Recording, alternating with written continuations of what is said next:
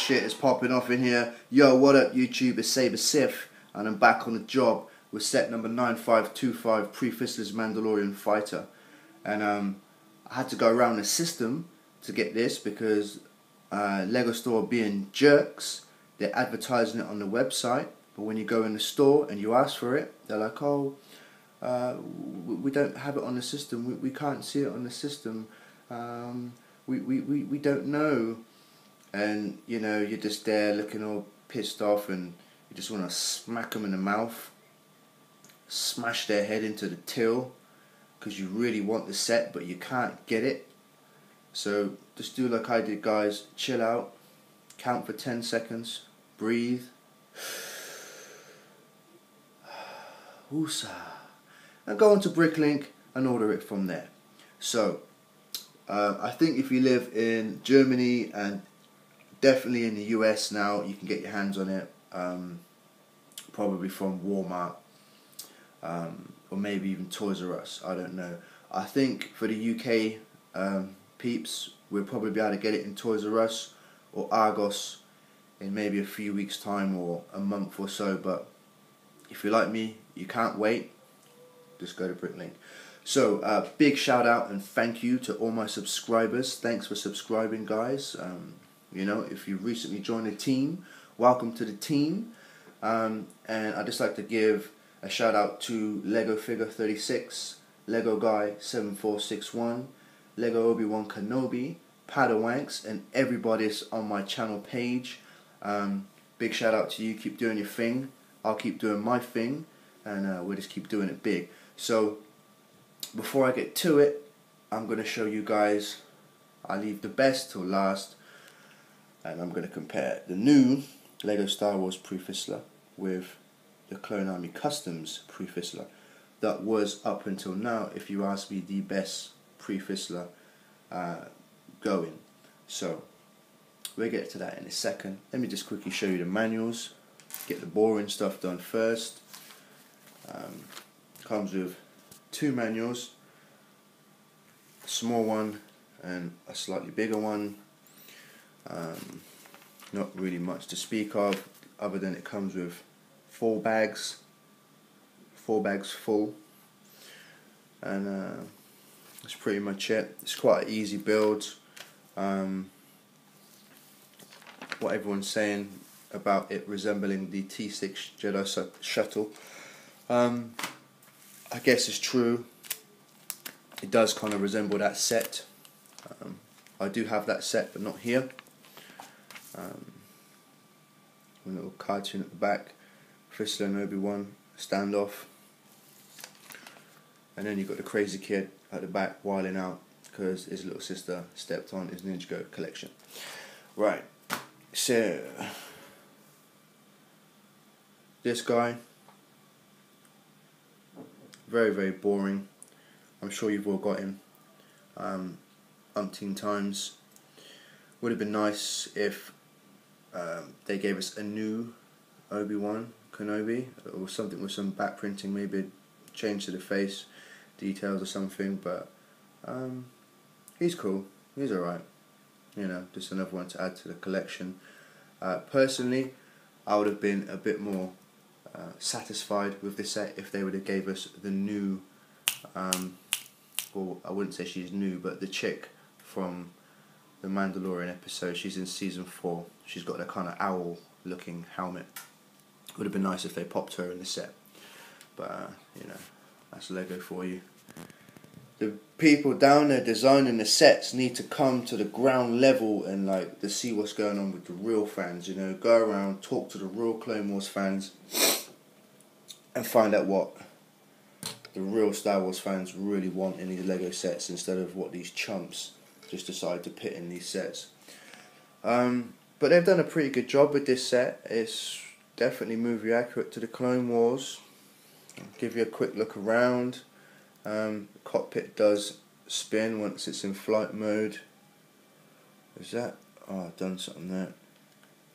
Oh, this this up. Can you just get? All right, that's cool.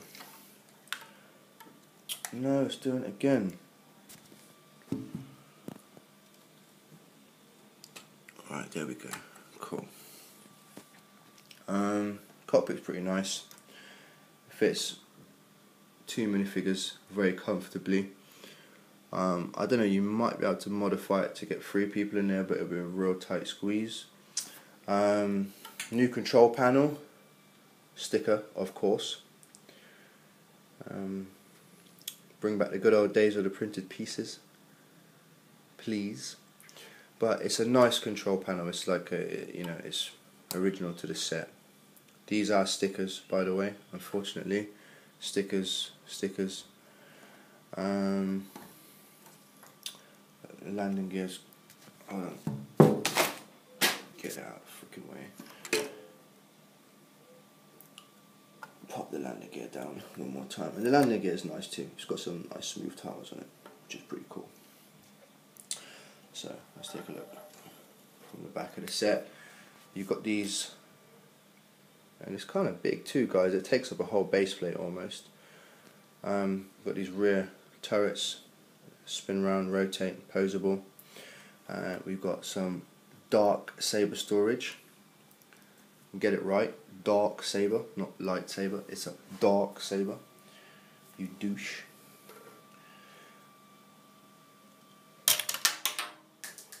Now, that's kind of a problem with the set, but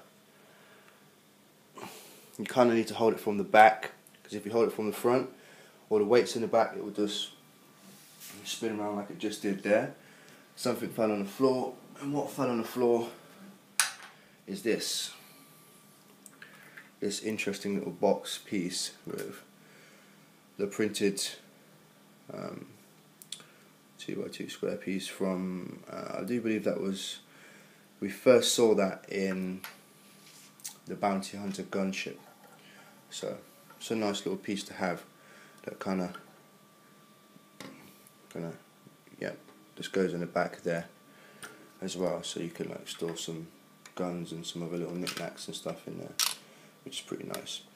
And the other feature at the back of the set is that this pops down like so and then the box will release so um, you could custom and I don't know put some bombs in there or something if you're flying around with it. It's kind of difficult to swoosh around. Um, playability wise, it's not the easiest set to play with. Um, but yeah, it's nice. It's very nice, and the wings are sturdy, very very sturdy. So sturdy that you kind of feel like you might break something when you're clicking it back into place but I like that. I like sturdy, strong sets. So um, yeah. Take a look from the top. Uh, I don't have the the T6 Jedi shuttle to compare it with um, here. It's at my parents' house, but I do have something very similar. Well, color scheme wise, similar anyway, and that's my custom Blue Leader X-wing. Um, I didn't mean it to have Mandalorian colours, I just used what was in my miscellaneous box on the day. Um, but yeah, definitely the colour scheme is pretty much the same. Both, both really cool sets if you ask me. Yeah. I don't know man, I think maybe I should just apply for one of the designing jobs down at Lego. keep coming out with these awesome customs. I've got my ear to the streets I'm sure I'll put some of those pricks out of business. But they've done an alright job with this set, so you know, it's not even like I can really hate. Um, and then this also this spins around like that, so you can have a kind of attack mode and have the ship like that. So cool. It's a nice little set. It's a very nice little set. I'm I'm happy that I got it. In fact, you know what? This one-handed business. Mm -mm. Frig.